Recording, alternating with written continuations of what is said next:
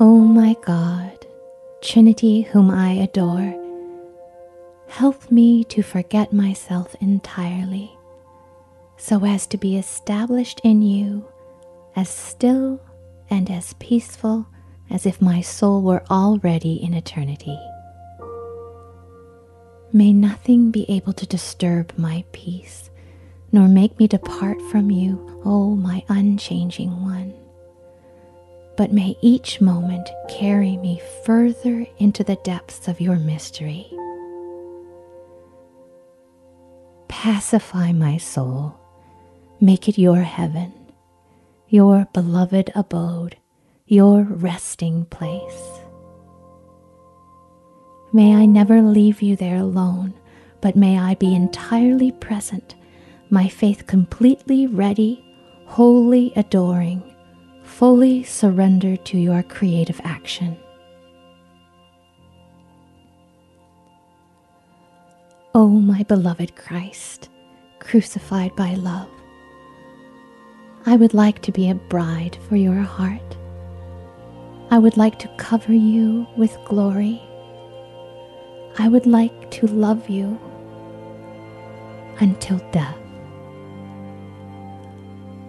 I feel my powerlessness, however, and I ask you to clothe me with yourself, to identify my soul with all the movements of your soul, to defeat me, to overwhelm me, to substitute yourself for me, that my life might be but a radiation of your life. Come into me as adorer, as healer, as Savior. O eternal Word, Word of my God, I want to spend my life listening to you. I want to be completely docile, ready to learn everything from you. Then, through all nights, all voids, all weakness. I want to fixate on you always and to remain under your great light.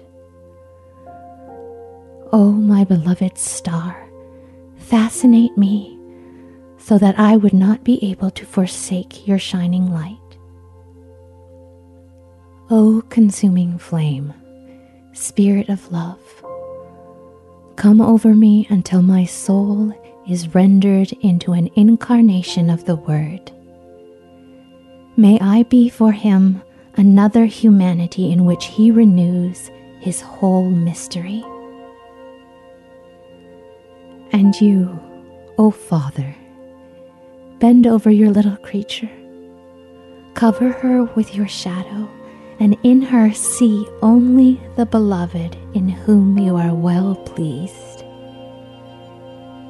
O oh, my three, my all, my beatitude, infinite solitude, immensity in which I lose myself, I surrender myself as prey. Bury yourself in me, in order that I might bury myself in you, while waiting to contemplate in your light the immeasurable depths of your grandeur.